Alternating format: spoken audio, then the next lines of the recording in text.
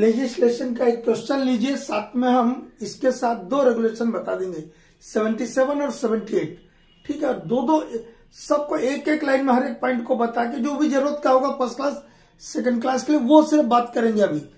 जो हम regular student को बताएँगे तो और लंबा बात करेंगे। अभी यहाँ सिर्फ़ शॉर्ट में, क्योंकि अब टाइम कम है। Diameter of winding rope is 25 M M diameter of winding rope कितना दिया है?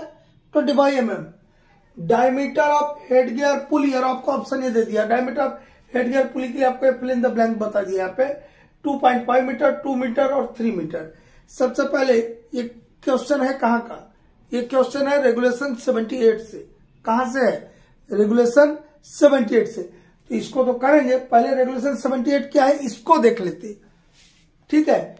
रेगुलेशन 78 में आपको मेन दो बात तो याद रखना ही रखना है। और उसके साथ दो बात याद रखना, चार बात, और चार लाइन में याद रखना।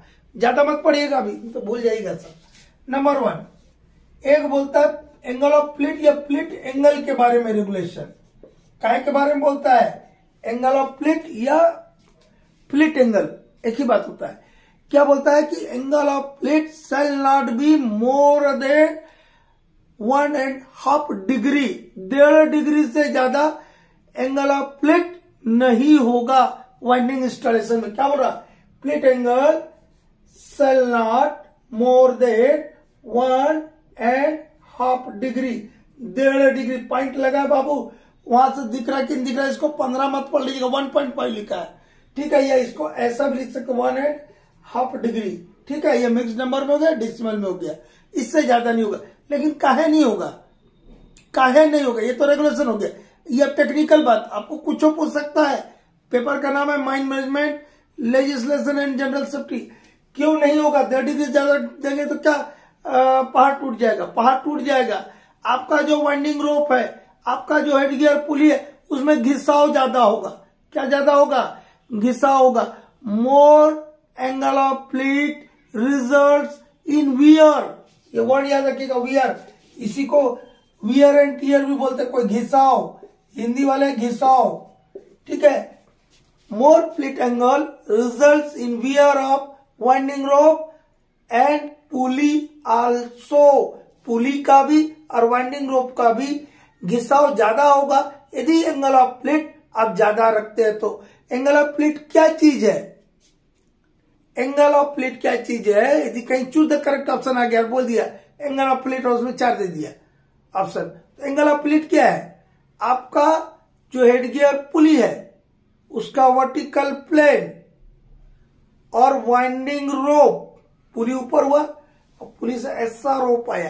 तो ये सीधा खड़ा वर्टिकल प्लेन और वाइंडिंग रोप के बीच जो एंगल बनता है, उसको बोलते हैं एंगल ऑफ़ प्लेट या plate angle angle of plate बोलिए या प्लेट एंगल एक ही बात है। ठीक है? और वो किससे ज़्यादा चाहिए डेढ़ डिग्री से वन एंड हाफ़ डिग्री से ज़्यादा नहीं होना चाहिए। Not more than one and half degree ठीक है? अब उसमें और बढ़िया से लिखा रहे तो ऐसा लिखा रहेगा अंग्रेज़ी में बोल दे रहे एक बार। Angle of plate means an angle between vertical plane of the pulley pulley means headgear pulley and winding rope when the cage is at the pit top और पिट बॉटम मतलब एक्सट्रीम पोजिशन बोलता है अंग्रेज़ आप regulation देखिएगा तो वहाँ word ये इस्तेमाल होता है। एट एक्सट्रीमी पोजिशन वो यही बात बोल रहा है। एट द पिट टॉप और पिट बॉटम पिट बॉटम पे केज है आपका, या पिट टॉप पर केज है, उस समय आपका हेडगियर पुली का वर्टिकल प्लेन और वाइंडिंग रोप के बीच जो एंगल बनता है that angle is known as angle of plate or in simple word plate angle in it should not be more than one and half degree चार छह बार बोल दिया या तो याद रहना चाहिए। ठीक है घिसाव रोकने के लिए किसका घिसाव? वाइंडिंग रोप और पुली के घिसाव वियर को रोकने के लिए। ठीक, खत्म हो गया। एक बात याद रखिएगा रेगुलेशन सेवेंटी में। दूसरा, सबसे महत्वपूर्ण बात याद रखिएगा, जिसपे ये क्वेश्चन बनाया है। ठीक है जिसमें एक क्वेश्चन आया है, क्या बोलता है कि जितने भी वाइंडिंग ड्रम्स है हेड गियर पुली है जितने भी स्यूट्स है, उनका डायमीटर जो है, वो रोप के डायमीटर के हंड्रेड टाइम्स होगा।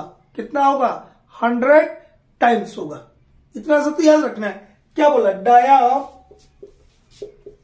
dia of drum or pulley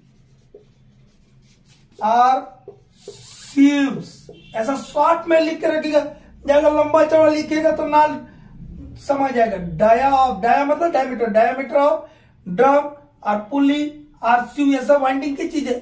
dia of drum और pulley or sheave shall be कितना होगा?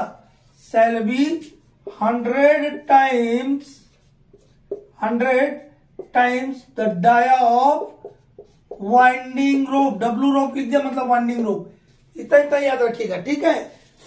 लेकिन ठीक है भैया, क्या बोल रहा हूँ?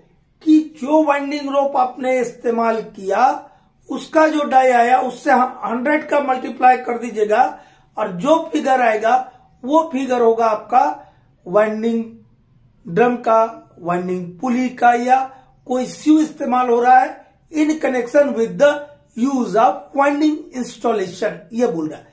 लेकिन बट वाई मुझे पूछा था फ़र्स्ट क्लास के ओरल में। एक सीएमपीडीएल रांची के डीटी थे, हम नाम हम नहीं जानते। बहुत ओल्ड पर्सन थे, उन्होंने पूछा, काहे? ऐसा बोले थे, काहे? हम ये जब पूछा, ये तो ये बता दिए ये बताइए तो बता, काहे? ऐसा बोला। बोला, sir to minimise the bending stress in the winding rope ठीक है? क्या बोल दिया हमने? जैसे बोला, काहे? तो बोल दिया, sir to prevent the bending stresses in the winding rope जो वाइंडिंग रोप आप इस्तेमाल कर रहे हैं, एक घर में प्रैक्टिकल करके देखिएगा। एक छोटा सा घिरनी लीजिएगा, पुली लीजिएगा, ठीक है एक बड़का पुली लीजिएगा, और एक कोई रोप उसके ऊपर या रस्सी होता है ना घर में, उसी को डाल के देखिएगा। तो किसमें ज़्यादा रोप मुड़ रहा है? जिसमें ज़्यादा रोप मुड़ेगा, उसमें ज़्यादा बेंडिंग स्ट्रेस होगा। सीधा सा ना बात, जी, छोटा पुली में ज़्यादा बेंड होगा आपका रोप तो उसमें बेंडिंग स्ट्रेस ज़्यादा पैदा होगा। जितना बड़ा पुली रखिएगा, जिसका डायमीटर बड़ा होगा तो पुली बड़ा होगा। और जब पुली बड़ा होगा तो बेंडिंग स्ट्रेस आपके रोप पे वाइंडिंग रोप पे कम हो जाएगा। सिर्फ़ हम रेगुलेशन ही नहीं समझा रहे हैं, उसके आगे पीछे का चीज़ भी समझा रहे हैं। उसको भी सुनते और समझते चलिए कि कहे ये नियम दिया है रेगुलेशन में? To minimise the bending stress in the winding rope ठीक है? दो या तीन बार बोल दिया, याद हो जाए चीज़ ठीक है, यहाँ तक क्लियर हो गया? चलो तो आगे चलते हैं। अब इसको भी ना ले लेते साथ में। डायमीटर वाइंडिंग रोप दे दिया ट्वेंटी फाइव एम एम और डाया फेट गियर पुली पूछ रहा है। तो आपका कितना दिया है? ट्वेंटी फाइव एम एम दिख रहा बाबू वहाँ से। दिख रहा है twenty five M M into कितना कर देंगे हम? हंड्रेड टाइम्स बोला मतलब इंटू तो हंड्रेड कर दिया कितना twenty five hundred M M मतलब पच्चीस सौ एम एम आ गया। और इसको काय में बदल दे भैया? यहाँ मीटर में तो मीटर में बदल देते। ये ट्वेंटी फाइव हंड्रेड को डिवाइडेड बाय कर देंगे थाउज़ेंड क्योंकि एक मीटर में एक हज़ार एम एम होता है। एक मीटर में कितना होता है? एक हज़ार एम एम एक मीटर में एक हज़ार एम एम एक हज़ार से डिवाइड किया तो हमको क्लास थ्री में सर बताए थे कि ये लास्ट डिजिट गिन लीजिए, तीन है उसके बाद लगा दीजिए डेसिमल एक, दो और तीन। मतलब two point five zero zero metre हो गया। मतलब कितना हो गया? Two point five metre. तो टू पॉइंट फाइव मीटर मेरा आंसर हो गया। कोई दिक्कत है? तो ये वाला भी हो गया। थर्ड बात क्या बोलता? और फोर्थ बात, चारे बात इसमें याद रखना। कि आप बोल रहे कि पुली लगा रहे हैं आप सीप लगा रहे तो वो जो उसका ग्रूव होगा, ग्रूव समझते हैं। गिरनी देखे हैं, पुली देखे कभी। खाचा रहता, खाचा जिसमें से रोप घूमता है वो ग्रूव और उसके बाजू में देखिएगा फ्लेंजेस लगे रहते हैं। रहते ना? वो ग्रुप जो है ग्रुप ऑफ़ पुल्ली और स्यू shall be suited to the dia of the rope winding rope rope means यहाँ वाइंडिंग रोप आपका वो जो ग्रू है पुली का या स्यू का, वो आपके वाइंडिंग रोप के डाया को सुट करने वाला होना चाहिए। यानी कि रोप फिसल के नीचे गिर जाए तो केजे कहा जाएगा पता नहीं फिर। तो स्लिपिंग को रोकने के लिए प्रोविज़न दिया है। ठीक है? और एक क्या प्रोविज़न दिया है? कि जब आपका पुल्ली मोशन कर रहा है तो वो वर्टिकल प्लेन में ही घूमना चाहिए। ठीक है? पुली जब मोशन कर रहा है, ठीक है तो वो वर्टिकल प्लेन में ही मोशन करना चाहिए। यही चार बात इस रेगुलेशन में आपको याद रखना है। इसी के ऊपर आगे पीछे कोई आपको ऑब्जेक्टिव आएगा। एक और रेगुलेशन इसके ये तो सेवेंटी एट न था जी। ये रेगुलेशन सेवेंटी एट था। रेगुलेशन सेवेंटी सेवन इस बार आपको रेगुलेशन सेवेंटी सेवन से फ़र्स्ट क्लास या सेकंड क्लास में एक क्वेश्चन आएगा।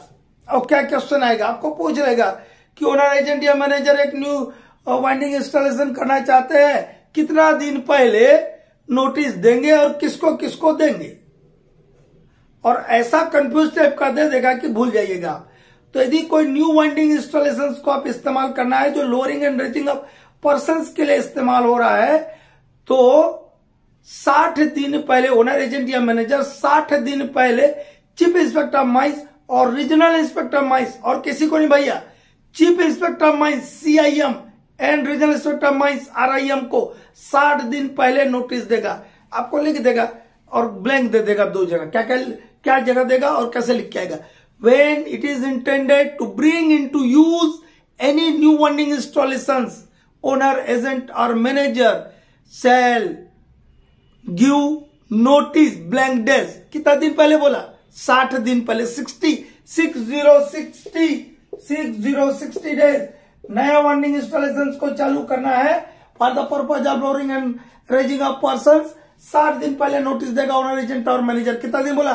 सिक्स ज़ीरो पहले देगा न्यू वार्निंग इंस्टॉलेशन के लिए। किसको देगा? चीफ इंस्पेक्टर माइंस को रीजनल इंस्पेक्टर ऑफ़ माइंस को। कितने आदमी को देगा? दो ही आदमी को देगा। बाकी कुछ याद नहीं रखना है। नया वार्निंग इंस्टॉलेशन करना है। उसका नोटिस साठ दिन पहले देंगे। किसको देंगे? रीजनल इंस्पेक्टर माइंस को और चीफ इंस्पेक्टर माइंस को। ठीक है? तो ये दो रेगुलेशन कंप्लीट हुए। बाकी वाइंडिंग के दो दो तीन तीन रेगुलेशन को मिला के दो चार वीडियो हम दो तीन दिन में ए, आज रात में ये चालू किया है। और यदि हमको आज रात में समय मिलता है तो हम और बताएँगे, ठीक है?